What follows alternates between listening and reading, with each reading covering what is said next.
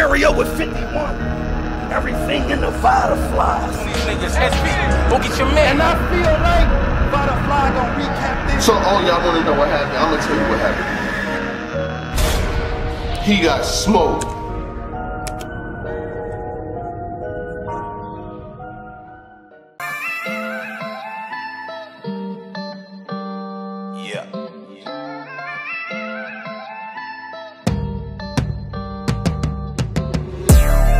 Streets ain't safe, but they tell you be safe when you out in these streets. Rest in peace, King Nip, stay dangerous, cause motherfuckers play for keeps. Keep you a toaster. Keep you a toaster. Better keep you a toaster. Keep you a toaster. You already know what it is, man. Salute to the subscribers, that notification gang, etc., etc. Don't let none of that get too far ahead of you. Click and blend. Follow me on Instagram, Vada underscore fly. Tell your mama I said hi. Salute to every single one of y'all who watch this content, whether religiously or in passing. Salute to the Milwaukee Bucks for winning their first NBA championship in more than 50 years. That is a significant accomplishment. Um, Chris Paul and them boys, y'all blew the bag. Y'all was up 2-0. Then got swept then got swept. That's kind of crazy. I know a lot of y'all gonna be like, but what about the Nets? I guess injuries, talent, and a game seven. Durant hits a shot that changes the trajectory of the NBA. He's a foot or inch back. Things change, but it's not about, you know what I'm saying? It is what it is. Salute, this is about Milwaukee and them winning the championship. Giannis had a monster game. 50 in a closeout? That's cra- yo. All Giannis slander ends. All Giannis slander ends. All three of the brothers got a championship. Giannis is the first African to ever benefit from nepotism because I don't know anything that them other two brothers have done ever. But they all three of them have championships. One with Milwaukee, one with the Lakers, and now Giannis. That's a significant accomplishment. But let's get into what we're gonna get into. John John and Don. It's been a little minute since I said John John and Don. I think about a month or two because you know I think I recapped his battle versus Ace Amin. But uh Scream! He's got Tsu Surf next on Summer Madness. I want y'all to go watch John John and Don's interview on Hip Hop is Real, where he basically was talking about Tsu Surf, talking about Sue Surf is right now, saying that, you know, his career is not really popping. Nobody's expecting him to have better bars and a lot of other things. You know what I'm saying? Uh, he was talking about the narratives that's going to be painted like this is Tsu Surf's comeback, comeback. I don't even know if you can say that because he just battled 40 and he just battled Loaded Lux maybe six to eight months ago. That ain't no huge comeback. That's not a comeback. Iron Solomon battling again would be a comeback. He hasn't battled in over a year or two. That's a comeback. Somebody who we saw six months ago is not a comeback. Seven months ago is not a comeback. So I get it to where you may feel like that the narrative, because the narrative, you know, that's the word of the week. Narrative is being painted that, you know, it's going to be a comeback. It's going to be on a big stage. Listen, John John, I think you need to you you you I know you're focused on the technical aspect of this battle, which is you getting in there and doing what you do, showing up for that big crowd and just booming the building. Like that's what you need. That's the main focus, you know what I'm saying? We all know that survey gonna come in the mud. Like you got like a 30% chance of him showing up with three, four rounds of material. You already know that. Like you you know this already. So it's kind of like a, a, bad hand in spades. I got two in a possible. He's got two in a possible out the gate. Like you know, he's two in a possible. There's no hate. It's just the law of averages. 40 bars, two rounds. Loaded Lux, two rounds. He doesn't even put you above Loaded Lux. If he couldn't get prepared for Lux, what means he's gonna get prepared for you. He also talked about, uh, you know, that that people are are who's gonna say that that Surf raps better than him or's got better angles and better puncher. While I probably won't say that, he's got big stage appeal. I will say that. Mad mops, mad brooms, we're walking arms out like bitches to the bathroom. You know, he's got big stage appeal to where he can definitely bomb in a big room. Like we're not gonna, we won't say that. I won't say that. Now, do I think that his ego is getting ahead of the battle rap talent. It's been way ahead of the battle rap talent for a while. We're not caping for him today. Musically, he's phenomenal too, but I think that, you know, the pride and ego is like on a huge rise. You just saw it the other day with uh, the whole 15 minutes of fame shit. That could have been handled in a thousand different ways. But as far as John John goes, I think that you're probably going to be favorited 80-20 maybe? 80-20? I, I couldn't see it being 70-30, 80-20 is what the split is probably going to be. Because we all know there's a couple things about John John and Don that he does that his opponent doesn't. He's always prepared. He never really chokes. I can't even recall. I can't count on one hand how many times he's ever choked in a battle. He's he's able to to to rebuttal. He's able to use angles. Like his angles are phenomenal. You know what I'm saying? And he's able to do it on big stage, and he's do, able to do it on small stage. You're at the pinnacle of your career right now, John John. You're at the top of your career. Like this is the prime level right here. I heard you talk about the NBA comparisons with LeBron James and the MVP every season. I get it, but but your accolades and what you've been able to accomplish in your career are second to none. Bullpen Battle League, one of the bigger battle leagues in the world. People respect it. People watch the battles.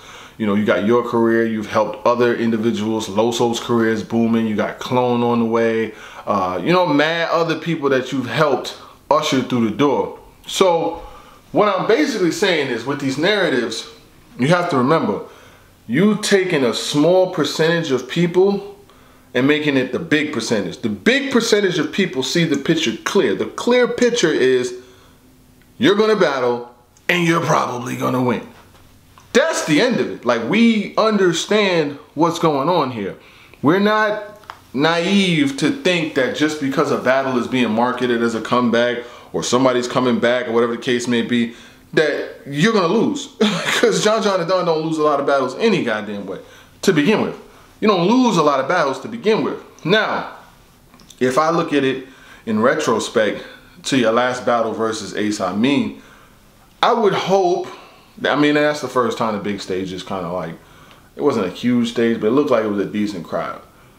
I would think that you would be more in a bag to like really, really get Surf out of here.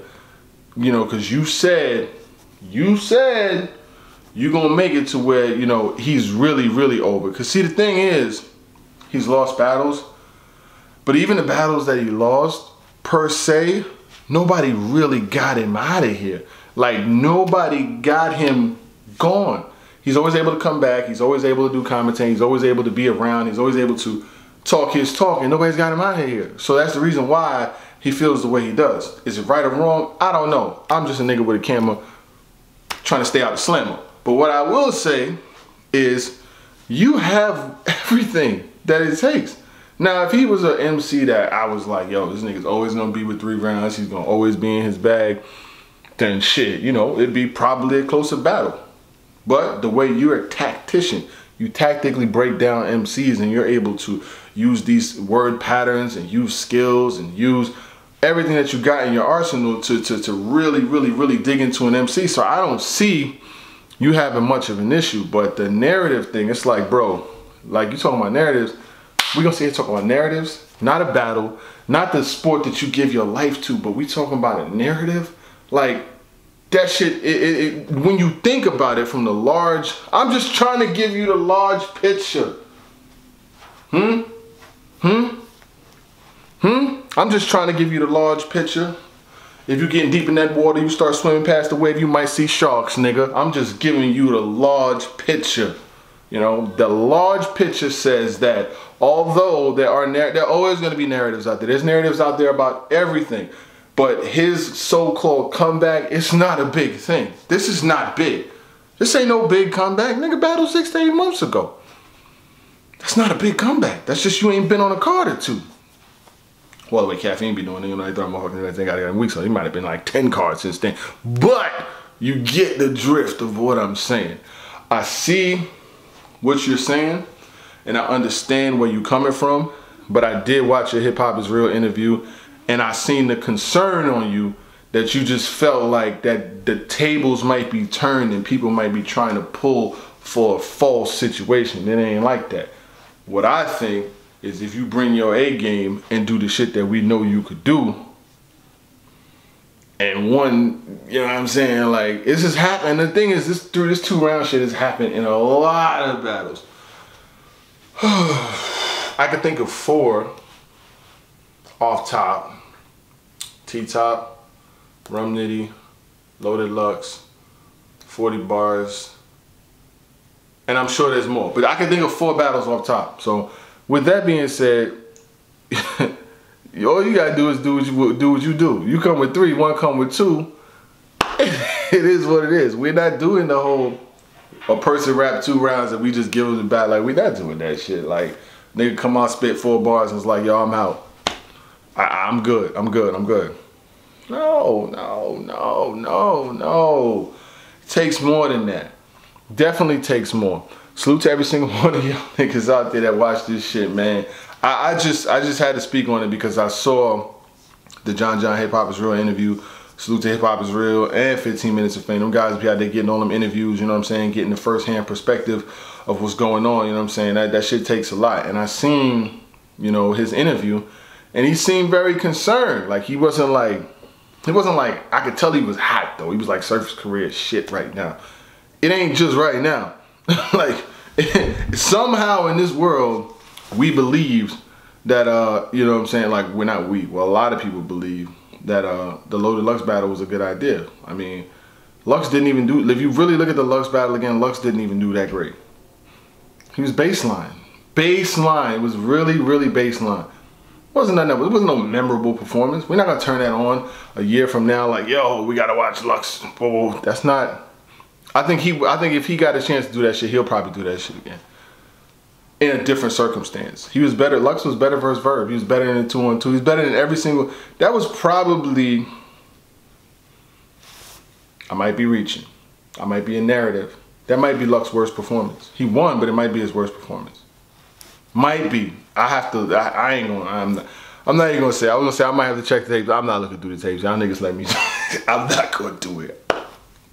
you got me. But I will say that John John, um, as long as he does what he's supposed to do, what he's supposed to do, filling in the blanks, being in his bag, having a good cadence, having a good pace, using the phenomenal angles that I know he does. He had a fire one versus chess, you know, can no more ducking wave, time to swan dive. Like, come on, son. Come on, come on, B. Like, like, we not about to do this. This ain't no, this ain't, this ain't, this ain't that. This ain't that and that ain't this. You know what it takes You've been on these big stages before. Now, what I will say, and you address this too, this ain't about record sales, this ain't about Instagram accounts, this ain't about who's the more popular person. Because in that, if that was the scenario, of course, he's bigger than you as far as artistry goes. But in battle rap, unless you're a die-hard fan of an individual, and there's very few people that I'm like a die-hard fan. That I, a die-hard fan is someone that's so fixated in who they like that it will blind their judgment. Like you want your team to win so bad that they could be playing somebody that you know is better than them, but you want them to win anyway, so you're going to pick them. There's very few people that I personally get blinded by like that. Very few. That if I know that there's an MC that's better and they beat them, regardless of who it may be, a lot of y'all be like, oh man, boo boo boo, you Tay Roc. Bro, I have said when he's lost. I said he lost versus Mook. I say he lost versus Daylyt. I have no problem telling that man when he lost. And I tell him when he won too. So I'm not blinded by anybody to where if they lose, I'm gonna have them winning just because. Um, and I heard people be there's people that started wanting to bet. I think even Stiz said he wanted to bet. Like Stiz, just stay away from betting, stay away from judged battles, stay away from all of that shit. I think the best way that people could probably go about judging battles from now on is just having your judges they all pick who won and then you just reveal it at the same time. Because what happens is a lot of times like when one person judges a battle the next person sees who the other person picks and that sometimes clouds their judgment. And then like danny myers was saying salute to him when you watching a battle, if you're writing down all of these bars, you fuck around and miss some shit. Cause you're trying to write something down or type something down and you'll mess around and miss something. So you, how can you really adequately judge if you got a page full of notes and you trying to write something down at the same time? It's kind of, it's very hard to do that. That's why a lot of the times I'll just watch it first so I could come up with my conclusion and then on the run back, or if it's something super crazy, a line like that, I'll write that down like chess pick on somebody your own size. That's a line that I can write down right quick, but you can't analyze and break down a whole battle while watching it. That shit is very difficult. There's a few people that can, but it ain't many. Um, other than that, John John, just do what you do, and it's gonna be what it is. Gang.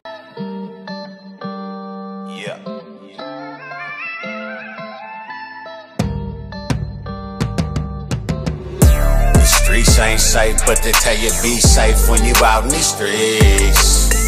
Rest in peace, King Nip, stay dangerous, cause motherfuckers play for keeps. Keep you a toaster.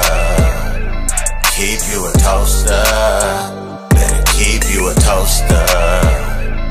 Keep you a toaster. With all that internet beefing, how you out here naked? You mean to tell me you just a loudmouth nigga that's reckless? Some of you niggas got death wishes, you do it for likes. Go viral to get killed later on that night. It's shit crazy to find out you wasn't on that hype. For them views, you really just paid with your life. All the real killers I know, they don't be online. And if they is, they just waiting for you to post your lie. I ride around me and Hammerla and